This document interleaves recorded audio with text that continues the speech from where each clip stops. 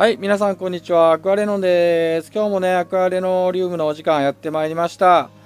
今回はね、120センチポリプ水槽にいるね、ポリプテレスオルナティピンニスちゃんですね。この子にちょっと焦点を当てた動画の紹介になります。でちょっとね、前、前もね、紹介はしてるんですけど、今回ね、このオルナティピンニスってすごい派手なド派手フィッシュなんですけど、ポリプ界のね。体の模様がね、結構派手なんですよ。で、これ賛否両論があると思うんで、模様についてね。それについてちょっと語っていこうかと思います。はい。今回はね、ポリプ界のド派手フィッシュ、オルナティピンニス、ポリプテレスオルナティピンニスちゃんの、ま、紹介というかね、えー、についてね、ちょっと語っていこうかと思うんですけれども、まあ、オープニングで語ったんですけど、オープニングで言った通り、その、この柄ですよね、私が今回ちょっと考えたいのは。この柄が、その、ポリプテルスって本当に、あの、見た目はね、すごい個性的な見た目でね、見た目すごいいいと思うんですよ。ただね、こう柄、柄があんまりある魚、柄っていうか、柄がしっかり入ってて、で、その柄が派手な柄っていうか、そういうポリプテルスがねすごい少ないんですよで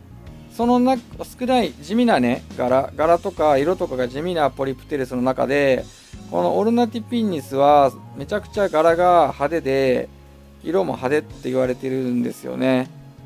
でそれについてね私ちょっといろいろ意見がありましてまあこうやって今映してるんですけど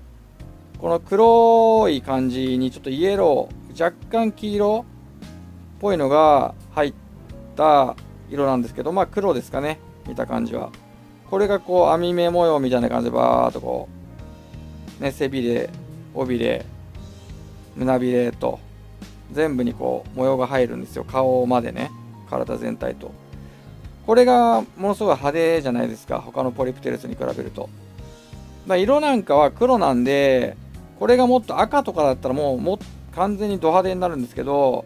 まあ、色に関してはちょっと黒にちょっと若干黄色がね若干黄色が見えるかなっていうぐらいで、まあ、ほぼ黒なんで色に関してはねそんなあの派手じゃないとは思うんですけど柄ですよね私が言いたいのは。この柄がねあの派手でドアデフィッシュって言われるんですけどでこの柄が好きな人が多いんですよ実際ね。ポリプテレスオルナティピンニスを買いたい人は。で私はもともとポリプテレスの中でこのオルナティピンニスだけちょっと嫌いだったんですよ。嫌いっていうかあんまり好きじゃなかったんですよ。なぜかっていうとその今回のテーマであるこの柄なんですよ。このね柄が顔まであるじゃないですか。だから全体的な雰囲気として顔もねなんかしっかりよく見えないし目と目とかの周りにこういう黒のね線とか入っちゃってるんでその顔がしっかり認識できないっていうのがあってあとはこの柄がねちょっと気持ち悪かったんですよ最初。だからねオルナティピンニスって何で人気あるのかなっていつも思ってて他のポリプテルスはねこんな柄してないんであの顔とかもしっかりパッと見で可愛いの分かるんですけどオルナティピンニスってぶっちゃけた話この柄が顔に入っちゃってるんで目の周りとかも入ってますからねさっき言ったようにそのパッと見なんか顔がわからないんですよね。よよくよくっていうか、じっとこう、しっかり見ると可愛い顔してるんですよ。ただ、こうパッと見ね、これ慣れてない人はちょっと気持ち悪いと思うんじゃないかなっていうのが私の今回のちょっと言いたいことというか、あの議論したいことなんですよ。では実際私の場合はこのオルナティピンニスってすごい泳ぐ魚ででまあ他のポリプテルスよりもなんか慣れるっていうかすごい優位性高くて活発な性格なので中身はすごい好きな魚なんですけどその柄っていうか模様ねさっきからガラガラガラガラ柄を連呼しちゃってましたけどまあ模様ですよね、まあ、柄と模様多分一緒だと思うんですけどね。模様で敬遠してた敬遠ですね。あのしてたところがあるんですけどなんかね、途中から吹っ切れたんですかね、私も。普通にオルナティピンニス買いたいなと思って、買ってみたら、この模様、ね、柄ね、あの、最初気持ち悪かったんですけど、